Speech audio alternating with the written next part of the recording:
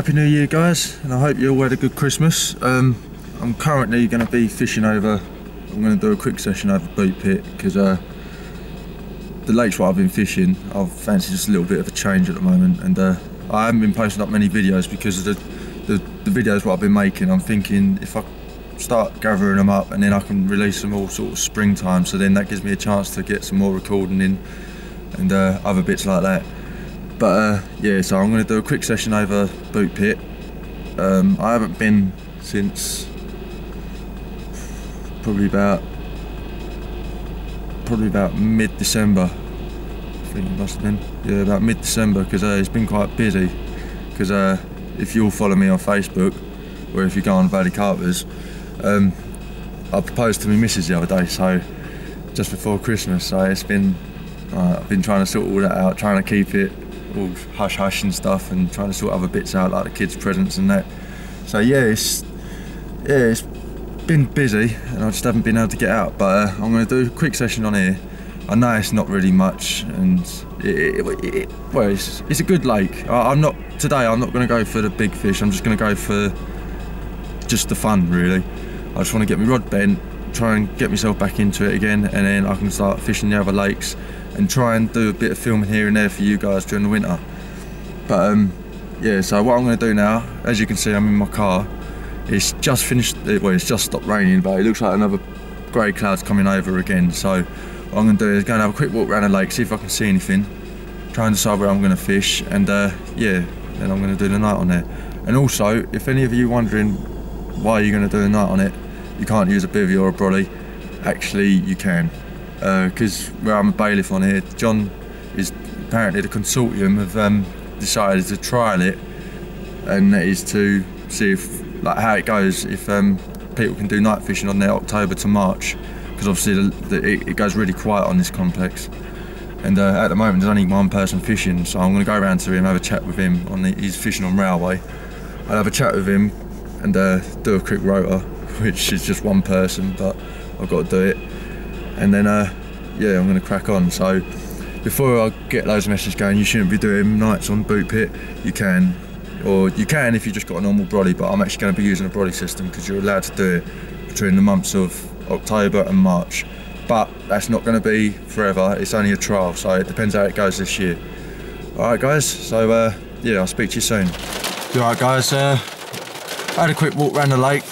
Um, decided to fish up the far end that's the end furthest away from the car park. Because it seems like it's a lot more quiet there. Because the bloke who's fishing, bloody hell.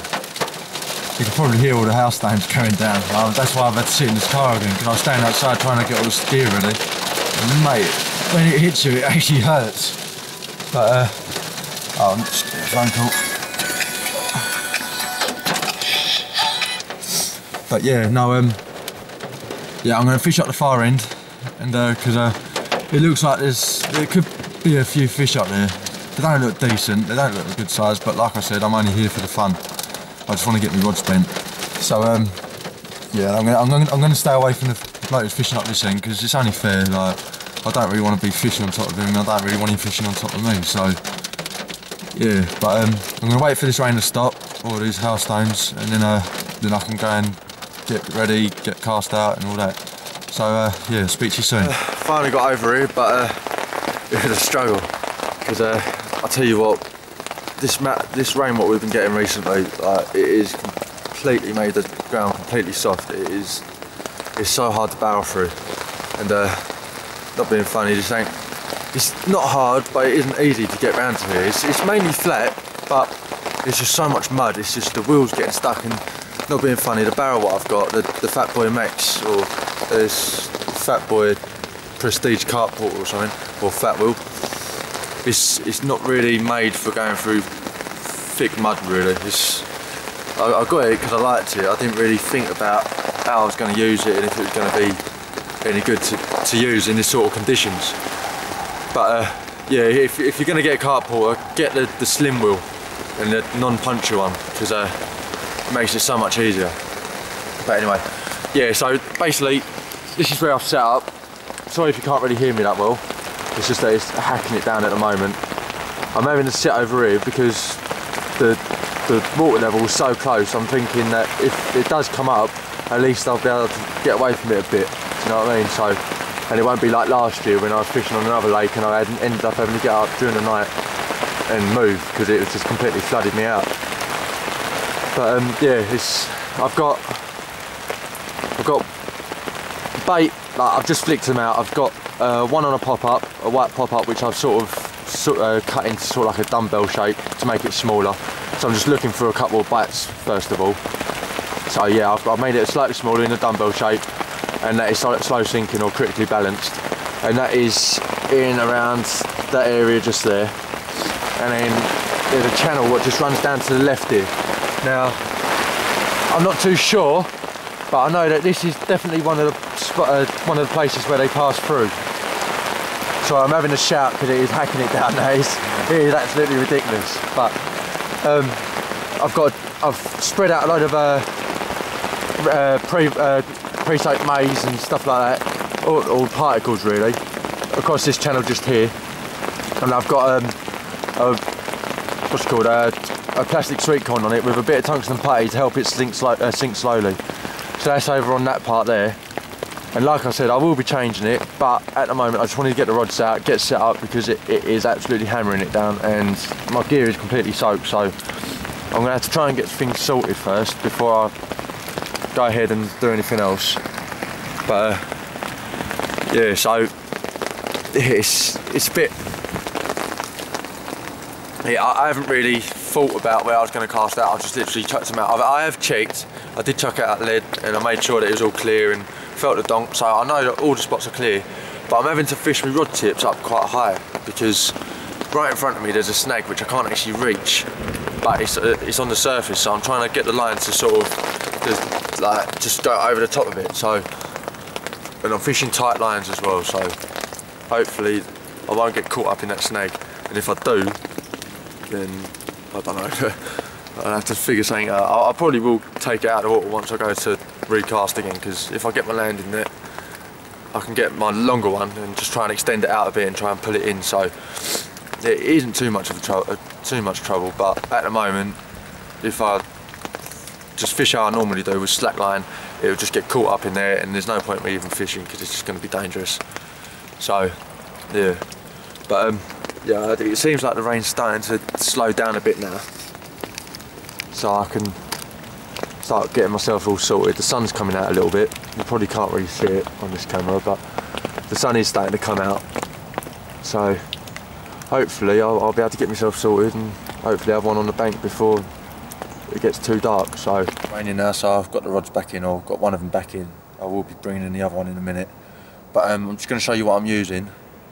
Um, I'm basically just using a normal KD rig which is on uh, Fox Coretex. It's 15 pound rig material uh, I've stripped it back literally probably about just over an inch from there to the hook. So I've got just over an inch of um, uh, of, uh, of um, strip material. Uh, I'm going to be fishing a maize and a fake maize or fake sweet corn on it. Reason for that is is that I find that the maize isn't it's not like sweet corn where it's bright. It's sort of a duller colour and it, it probably don't make any difference, but to me, I'm colourblind, so I can see it. If I can see it, then the fish can see it.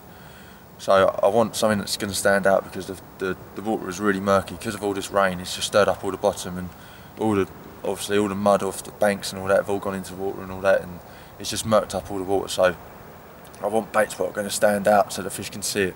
What I'm using is an SSSP Fox arm, Arma Point.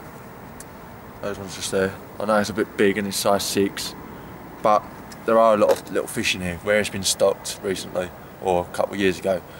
There, there's still quite a few small fish in here, so I want to try and keep away from them. Even though I don't, it don't really bother me what size they are. It's just it would be nice to not be woken up every hour of the night just for three pound fish. It would be nice to have a, one fair, uh, bit bigger.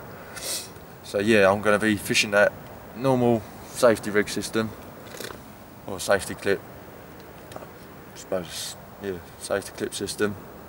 I'm going to be using a, I think it's two ounce lead.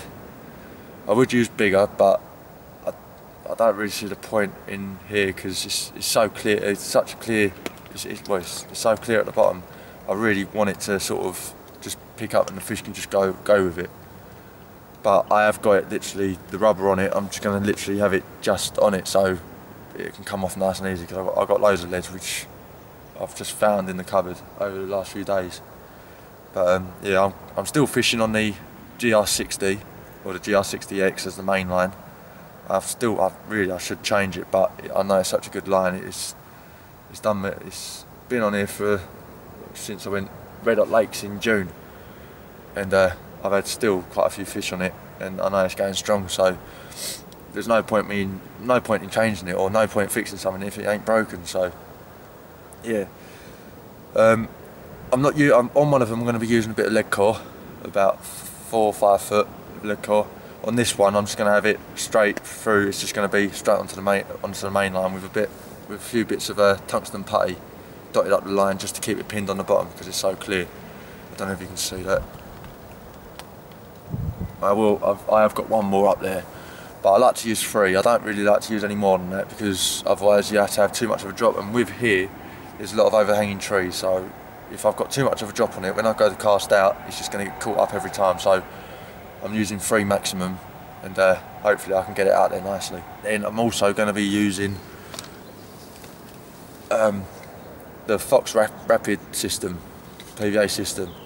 This, I tell you what, is it's unbelievable. Like it makes it so easy.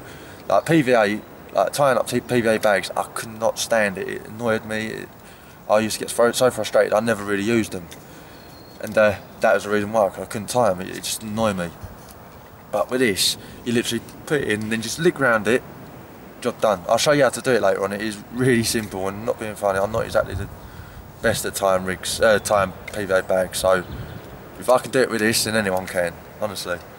Um, I'm going to be putting two mil pellets and one mil pellets. I know there's not really much difference, but I like to have a little bit of. It, it, well, it's there's not really much difference at all, but the one mil will obviously break down slightly quicker than the two mil pellets. Um, getting the kit is it comes all it comes all prepared really. Basically, you get instructions how to do it, but I don't really ever read instructions. But basically, this is the most important part.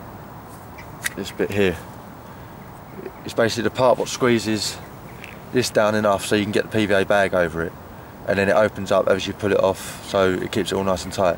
But if you lose that, then I'm not too sure what you can do. I don't. I, I don't even know what size it is. I don't know if you can maybe make something yourself or, or not. But if any of you know, then please comment and let me know. But uh, basically, what you do is you just slip this over. It does. It is quite stiff because it is quite new. But as time goes on, as they get, as you start using them more and more, they'll get weaker and weaker, and it's a lot easier. Basically, you just slip this over.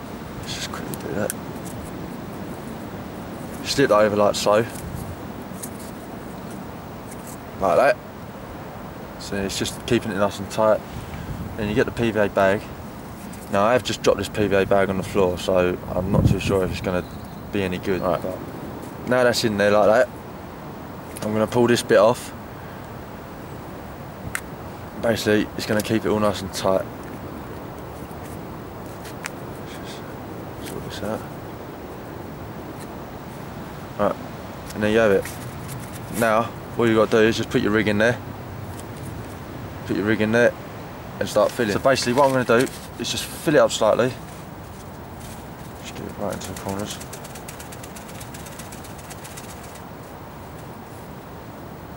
I am only going to use one mil pellets on this one because really I'm only putting this out there just for a little bit of bait around the hook because I, I, I don't want to overfill them especially like or overfeed them especially now that it's winter and it's a lot colder.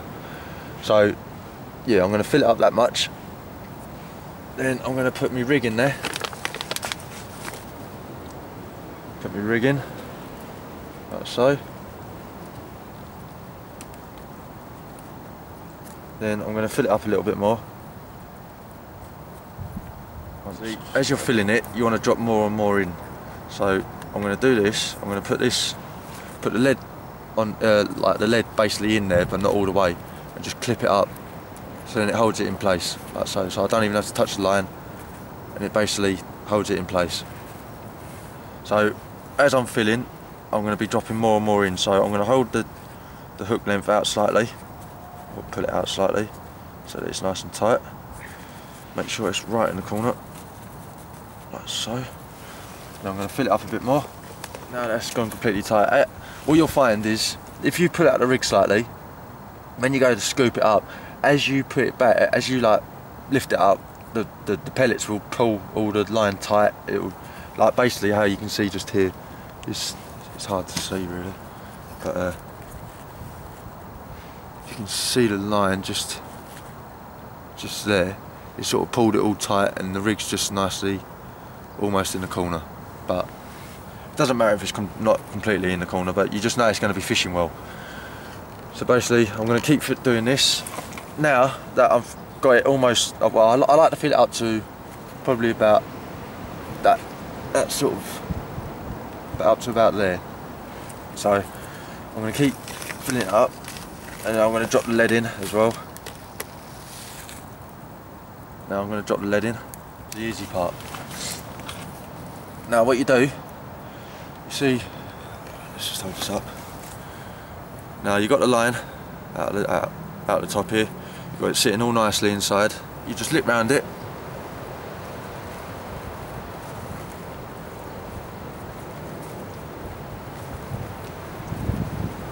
Then give it a twist. And as you can see, the PVA is actually going down as I'm twisting. Now once, once you twisted it, you push it down. Now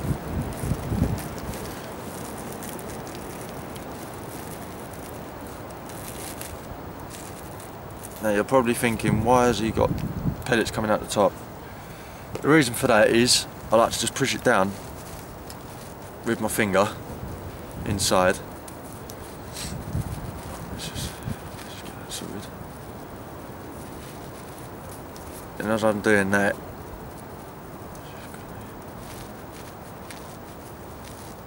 I like to try and push it down with my finger to be honest because if you haven't got the hole inside and you have it sort of up to the actual like all completely tight around it when you're pushing it down it will end up splitting or you'll, you'll end up making it really loose. But with this you can nicely push it down. Once you've done that you're just pushing the corners like so like you'll probably do. And then make it make the corner wet. And then fold it.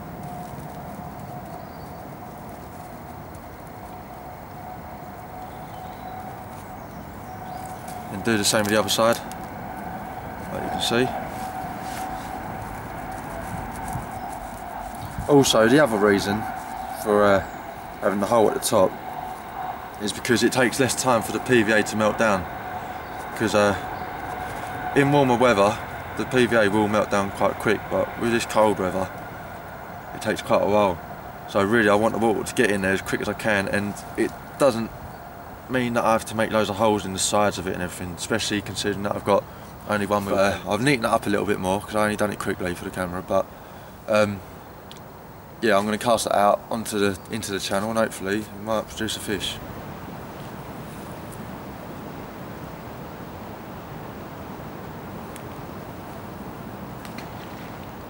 Morning. Um, last night I had six. They weren't big at all. Uh, I was just getting plagued by the small fish. Um, I think the biggest, I think the biggest was about probably about five, six pound. I've taken a photo of that one because that was the last one that I've had. But uh, it, was, it, it was, I was just getting plagued by small fish. So in the end, I ended up bringing them both in and putting on bigger baits. Like with one of them, I put well, I haven't really put on a bigger bait, I've just added bait to it. So I've put on, instead of just one maize, one uh, plastic sweet corn, I put on three maize and the plastic sweet corn. So try and sort of make it slight, uh, slightly too big for them or try and make it a bit bigger so I don't keep getting plagued by them. The other one I've put on a 15mm boilie, not cut down, just got, um, it's just literally got a bit of tungsten putty on it to help sink it to the bottom. Uh, other than that, there's not really much going on. It, it, I, it's hard for me to. I was going to go around and have a look see if I can find any of the fish, but it is absolutely hammering it down. And at the moment it's calmed down a bit, that's why I'm doing a bit of videoing. But all morning and all last night it's just been proper chucking it down. I wasn't able to do anything. So um, uh, right. still only the six fish I've had. It's now what is it time? It's now half eleven. Not really much been going on to be honest. It's, it's hard to say if they're up this end or not because it's just like I keep saying, it's just chucking it down to be honest, and it's calmed down a bit more now. But no doubt it's going to pick up again because there's a proper dark cloud coming over. So um, I've started putting some bits away, started packing up because I, I, would like to get back to the car before that cloud. I must admit, it is more for sort of children or for the disabled because uh, up the other end by the car park you'll find that there's a lot of swims which are sort of really kitted out for if people are disabled so it's nice and easy for them to get to. But if you come up the other end of the lake you, you get left alone and it's more for the angler. It's just that during the summer, summer months you can't do nights on it which isn't such a bad thing because not being funny during the summer during the day you're going to have so many fish out. It's you, you wouldn't want to do tonight. Like last night I had six and obviously now it's slowed down but to have six during the night and that was me just literally just casting it out. I, I didn't bother putting it back on the spot, I just literally flicked them out because it was pissing it down with rain.